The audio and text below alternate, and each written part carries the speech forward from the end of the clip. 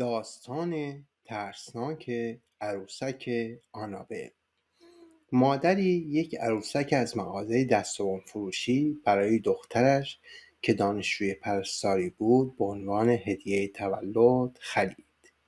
دختر که نامش دونا بود عروسک رو خیلی دوست داشت و در آپارتمان مشترک خود و دوستش آنجی نگهداری می‌کرد.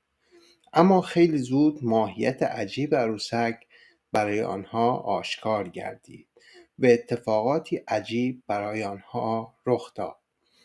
عروسک آنابل در ابتدا کارهای کوچکی مانند تکان دادن دستهایش و افتادن از روی صندلی به زمین انجام می‌داد که دونا و آنجی می توانستند آن را توجیه کنند.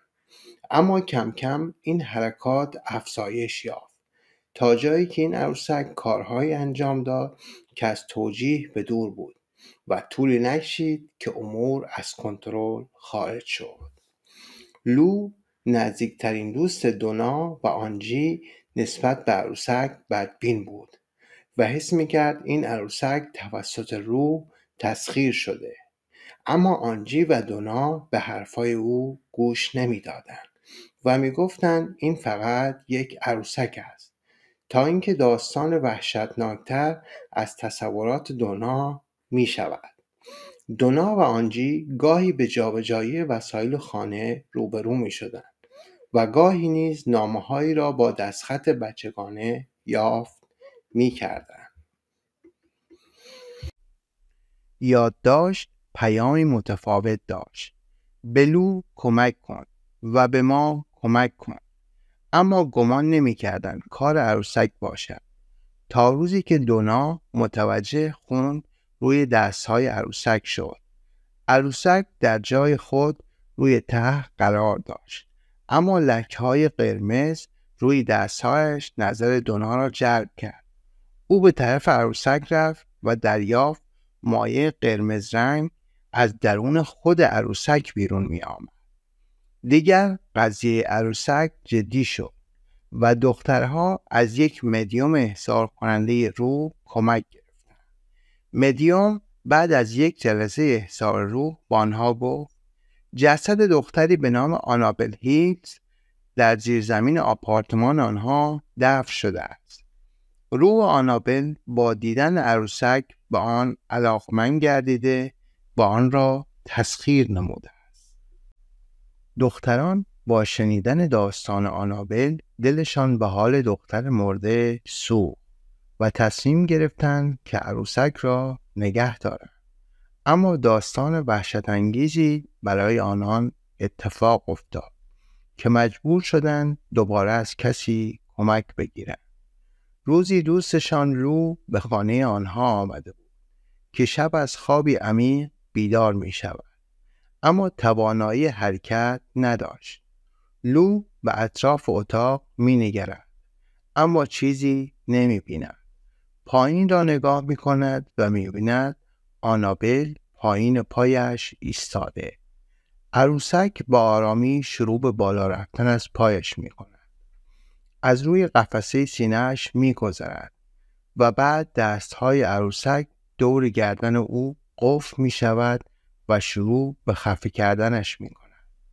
لو پس از این اتفاق از هوش می رود و روز بعد به هوش می آید و نمی‌داند که این اتفاق کابوس وحشتناک بوده یا در واقعیت برایش پیش آمده است. اما روز بعد اتفاقی میافتد که او به وحشتناک بودن عروسک پی می‌برد.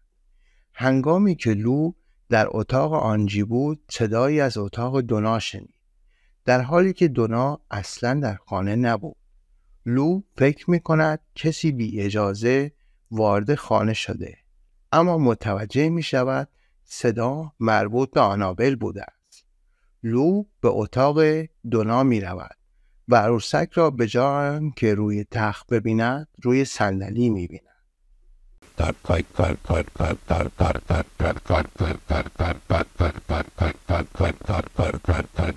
But, but, but, but, but, but, but, but, but, but, but,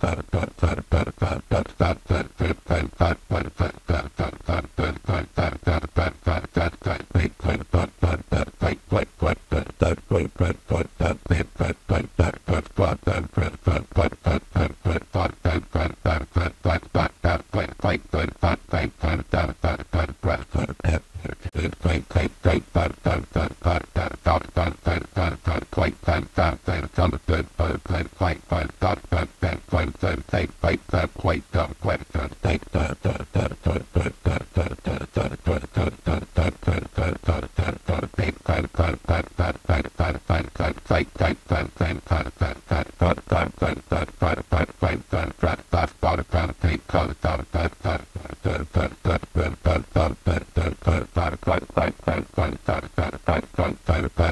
but, but, but,